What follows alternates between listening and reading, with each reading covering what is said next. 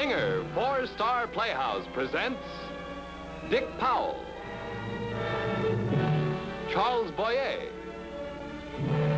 David Niven, Ida Lupino.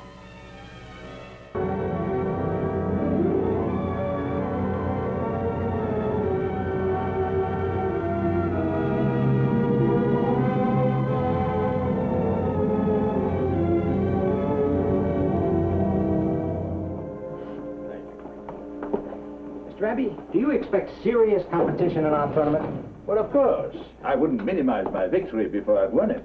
Then you do expect to win. I couldn't very well make such a statement to your newspaper, but you may say I'm confident. Uh, please, Mr. Abbey, one more picture, together with Lonigan. Oh, you don't want me? Sure, the champion and the tournament director. Thank you, gentlemen. That's all, Jack. There's been a great deal of discussion about the exciting game you played in the National Bridge Tournament. Do you care to comment? I played as well as I could. That's putting it mildly. I'll get it. Oh, one more question, Mr. Abbey. We were a bit surprised that you came all the way from New York to play in our tournament. It's flattering to Seattle, but why did you come? I was invited. I accepted. Besides, I've wanted to visit Seattle for a long time. Alan, it's for you. Thank you. Excuse me. A woman who won't give her name. Oh. Hello? Yes, this is Alan Abbey. Alan, don't mention my name. This is Julie Tolan. Alan, you remember me, don't you? Julie. Yes. Of course, I knew you lived here, but I admit I didn't expect you to get in touch with me. How did you find out we moved? Oh, I've kept track of you, Julie. Word gets around in bridge circles. Wasn't difficult for me to follow Bert's progress from New Orleans to Kansas to Seattle. And yet you came? I travel a lot, Julie. Sooner or later, we were bound to meet again. I've been afraid of it. I've dreaded the day you and Bert would meet in the the bridge tournament. Really? I forgot to look at the list of players. Is he competing against me? He was the favorite until you accepted. Oh, I'm sorry, I didn't know. If you didn't know, it's not too late. You could still withdraw. Withdraw? Why should I? You know why? After all that's happened between you two, it wouldn't be just a game. It'd be a deadly battle. Oh, no, no, Julie, aren't you exaggerating a little? Not as far as Bert is concerned. Your success has become an obsession with him, Alan. He couldn't take a defeat. Well, in that case, perhaps he would like to withdraw. Bert? Never. He'd stake his life to win against you. He would? Too bad. You don't think he has much of a chance, do you? If I did, I wouldn't be here. I see. Is that why you called me? To ask me to let Bert win? I haven't yet.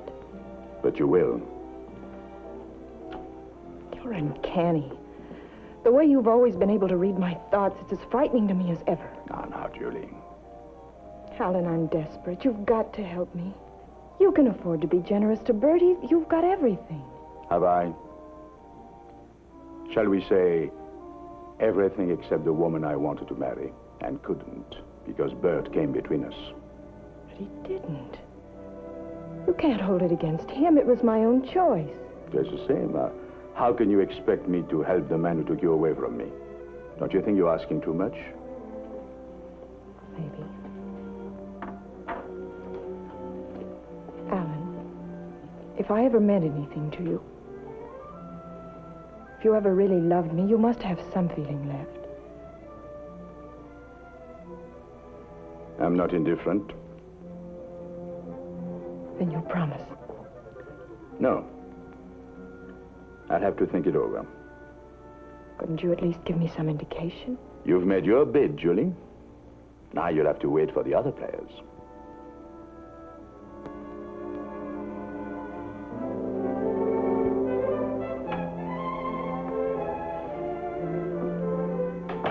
Darling. Where have you been? Uh, at the store. I had to finish the inventory. Quite a night. You know the Vickers have invited us for dinner at the club. Would you mind going on? Terribly tired. You mean you won't come to the tournament? Maybe later. You don't have to. If you're afraid to see me lose. But you won't. You're the favorite. Not anymore. Haven't you seen the papers? All the big stories about Alan Abbey? No, what about him? The champion has honored us by coming to Seattle. Really? Well, you don't seem very concerned. Should I be? Oh, come on, Julie, you don't have to put on an act. We both know what he means to us. Maybe to you. Don't tell me you've never thought about him. Don't tell me you've never wondered if he didn't marry the wrong man. That's absurd, Bert. Of course I haven't. Maybe you should have. Then you might have been spared the final humiliation of watching him beat your husband in this tournament. But you haven't lost yet, Bert. And even if you do, it won't prove anything. What better proof do you want that he's superior to me? Not as a person, Bert? It's only a game. It's just cards. No, it's not. It's the difference between success and failure. It's the reason you had to open that store, the reason we have no home of our own, no security. I don't care. I have you. You're all I want.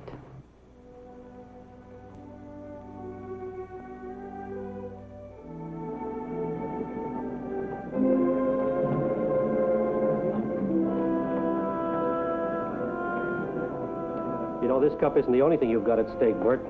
Remember what my wife said about my factory needing an assistant vice president? Mrs. Vickers wasn't serious, was she? Sure, we both are. She because she collects celebrities. She'll be thrilled to have a bridge champion working for me. You know, show him off at dinner parties. Well, I'm sure you'll be guided by more practical considerations. I am. A lot of out-of-town buyers play bridge. It'll be sound public relations. You win that cup and you're hired.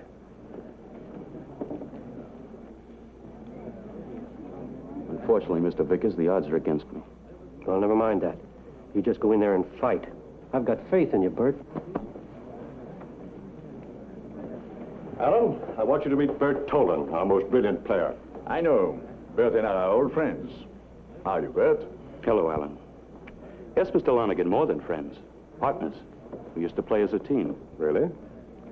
Whatever became of you, Bert? Well, gentlemen, we better go in. The tournament's about to start. Aren't you coming? You're a brilliant bridge strategist, Alan. But don't think that your success proves your superiority. For years, everything I touched turned sour. You can't fight bad luck. I'm sorry, Bert. In the long run, there is no such thing as bad luck. In cards, any more than in life. You still say that if I win? Right in this room? Yes, Bert. I'd still have to say it. Or else discard everything I've lived by. Sorry, I doubled Alan.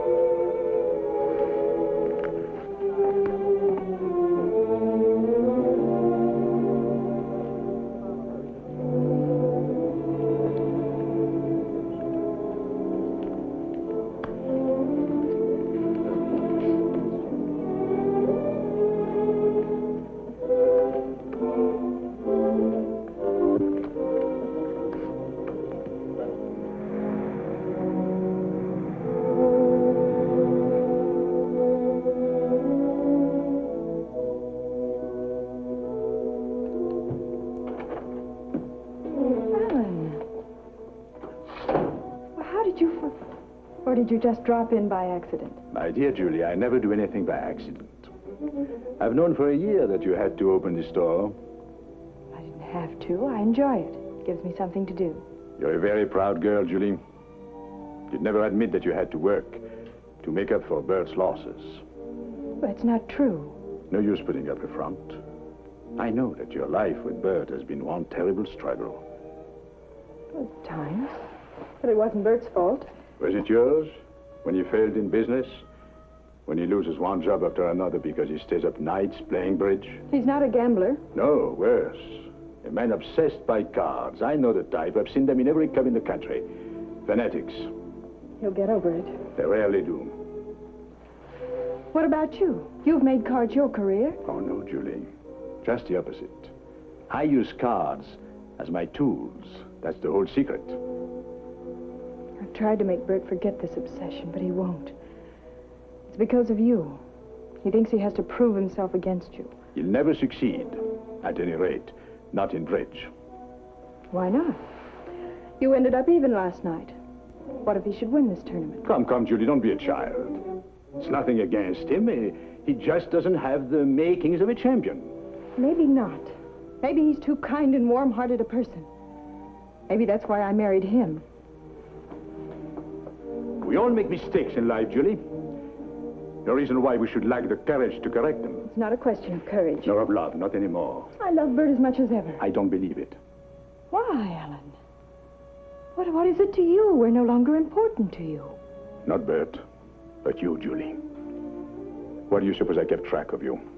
You don't mean... No, that's impossible. Is it? Why do you suppose I came to Seattle? Please, Alan, it's difficult enough. Too difficult. Julie, I want to see you happy. Surely you don't think that... Why? Wasn't always impossible. I admit I was drawn to you once, but just the same. Sorry to intrude. I didn't realize you used the store as a meeting place. We didn't. Alan just dropped in to buy a book.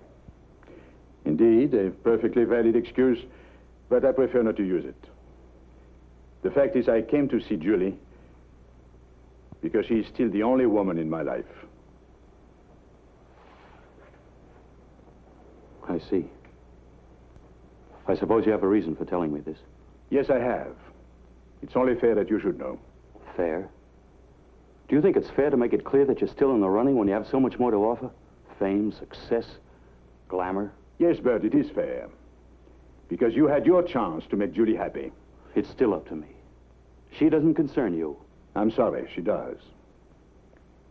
No man who loves a woman would give her up without making certain she was happy.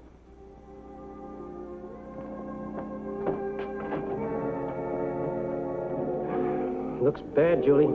There are the figures. Abbey's over 400 points and Bert's 360. But isn't it still possible for Bert to catch up?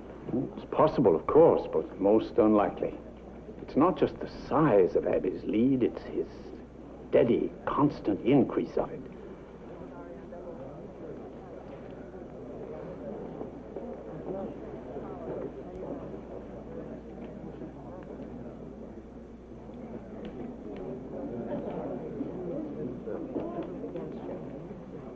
Alan, next round you're playing at table three with Bert as your partner. Uh, when do I get to play against him? Not till tomorrow afternoon. I wish you'd do me a favor. Could you arrange it for tomorrow evening? Make it the very last round of the tournament? If you wish. I don't see that make any difference. It would, to me. Congratulations, Mr. Abbey. You're certainly proving that you're a great man as far as cards are concerned. How can you be so unkind? No, Alan, I'm not. I'm applauding you. You know only one thing, victory. Control yourself. People are watching us.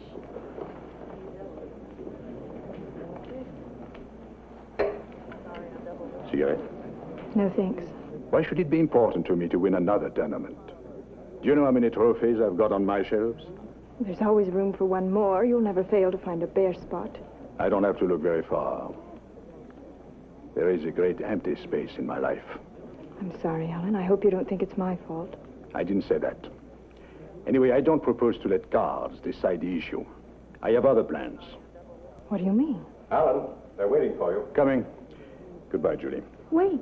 What are you going to do? Tell me. Not now. But I assure you there are no loopholes. This time the decision has to be final.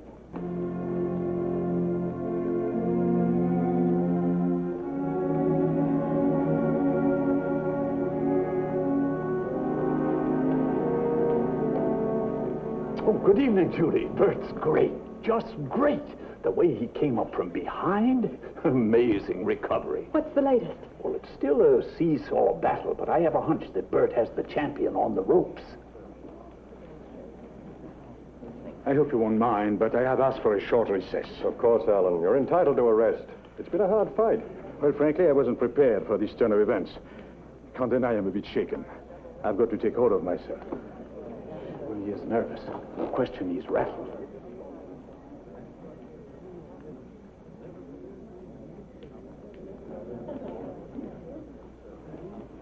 Julie, you shouldn't have followed me. I had to. When I saw how upset you were, I felt guilty. Don't bother. I'm neither upset nor rattled. Merely putting on an act to justify my implausible defeat. Implausible? Of course. You don't think Bert can perform miracles, do you? But why? When did you decide to let Bert win? When? Oh, um, sometime after you pleaded for him. Or don't you remember your visit? Of course I do, but I'd just about given up hope. What made you so generous? The simple fact that losing suits my purpose much better than winning the tournament. Alan, what are you up to? I'll only make the first move. The rest must follow. Julie, I'm going to lose. And then I'm going to tell Bert that I have lost on purpose. Alan, you wouldn't. I'm sorry, Julie. It's my only chance to get you away from him. But you can't. You, you must know by now I'll never leave him. I do know. That's precisely the reason why I have to make him leave you. I don't know how you go about this, but I wouldn't be surprised if you succeeded. Except with me. I swear no matter what happens, I'll never come to you. I need you as much as Bert does. But I'm not strong enough to help you. That's why I'm telling you now while you can still turn back. I can't anymore. Within the hour, every news service in the country will carry the report of my defeat. I'm sorry, Julie. I've got to get back.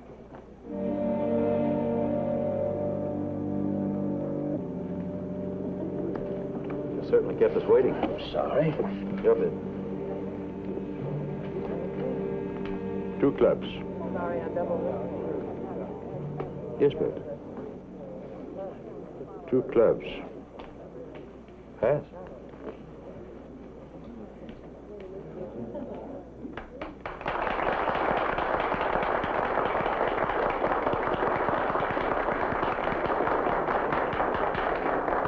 Darling, I, I can hardly believe it. It's over. I won. Really? What's the matter, Julie? You look pale. Too much excitement. Bert, I wish you'd take me home. You don't want me to leave right now. Please, Bert, let's go home. I don't want to see any people. You mean Alan? But it's all right, Julie. Now that I've won, we don't have to worry about him. In fact, I'd rather enjoy talking to him. Congratulations, Bert. I want to thank you for a most fascinating game. And may I add, I'm glad you won. Thank you, Alan. You're still the best sport I've ever known. I've never cried over a lost battle. It's winning the war that counts. Alan, now that it's over, let's be friends again. Let me buy you a drink. I'd be delighted. To you, Bert. To victory and success. Or shall we drink to happiness? I don't think I could be happier, Alan. It's like starting life all over again. I've not only won the tournament, I've won a vice presidency in Vickers' business. Good. You certainly deserve a break. That's why, when I heard about Vickers' offer, well, I just couldn't stand in your way. What do you mean stand in my way? Hmm? Nothing. I wanted you to have it. Let's leave it at that. Darling, I, I wish you'd take me home. I have a terrible headache. No, wait a minute. Alan, how could you want me to have it when it was a question of winning? Forget it. Oh, come on, Alan.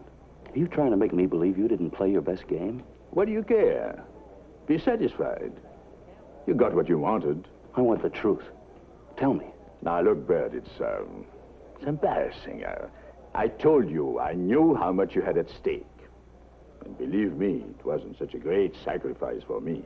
You sacrificing anything. I wouldn't believe that in a million years. I didn't expect any gratitude from you. You're lying, Alan. You didn't intend to lose. Have it your own way. Oh, you never give up, do you? Even when you're down, you're still trying to turn the tables. Well, it won't work. I waited for this moment too long. I won't let you take my victory away from me. Keep it, please. Now, look, Bert, I'm not sufficiently interested in you. In fact, if Julie hadn't asked me, uh, Julie? What's she got to do with it? why don't you ask her? He's lying, isn't he, Julie?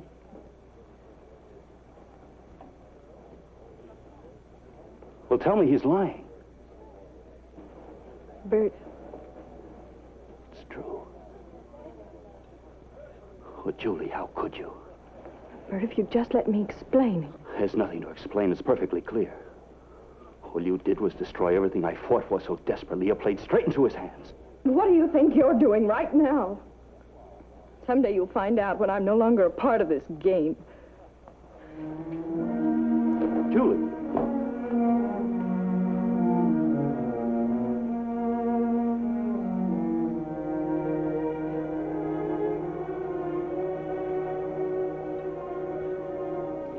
Almost had me, didn't you? Oh, you're incredibly smart, Alan. Now I do believe you could have won the tournament. You do? Any man capable of setting a trap as brilliant as that could have won hands down. Are you certain it was a trap? I even know how you set it. Step by step. If you'd merely beaten me, you'd have left me the hope of winning the next time. But this way, you not only evade my challenge, but put me in your debt forever. And who was responsible? My wife. How could I help hating her for pleading with you? She did. She called me. But I don't hate her for it. To the contrary. I think it's the most wonderful thing she could have done. The greatest proof any woman could give of her love. That's where you made your mistake. Very good, Bert. Well, I admit I didn't expect to be the one who'd bring you together. It would seem that the trap was not exactly infallible. No, almost. There was only one flaw in your otherwise superb calculations. Your old premise that people can be handled like cards doesn't work, Alan. Because there's something inside us that can't be manipulated. Bert, here it is. To the winner. I don't want it. What's going on? As usual, winner takes all. For a man accustomed to winning, you're certainly a good loser. I don't know. This time I found it a bit difficult. Perhaps because the stakes were so high.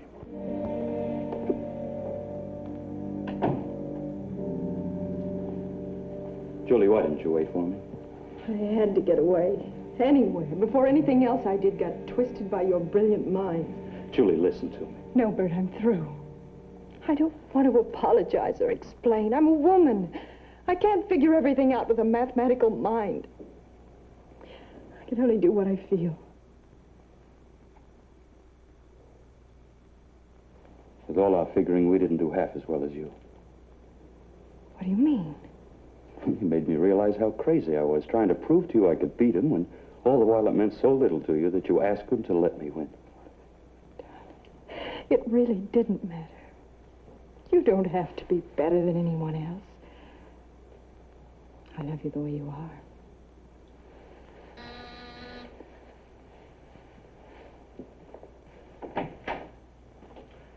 May I come in? Of course, Al.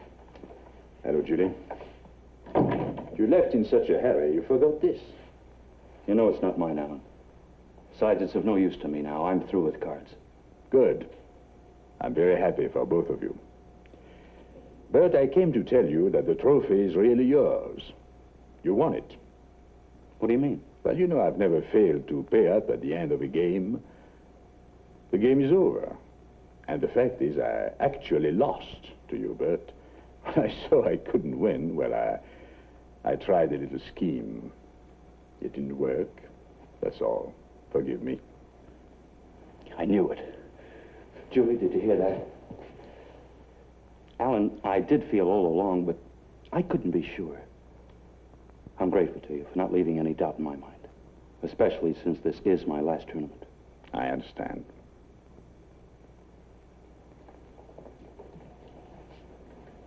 Thank you, Alan. What I said to you at the club, I mean it so very much. You are a true champion. And when I said to you in your shop, I mean it so very much, too. All I wanted was to see you happy. Goodbye, Julie.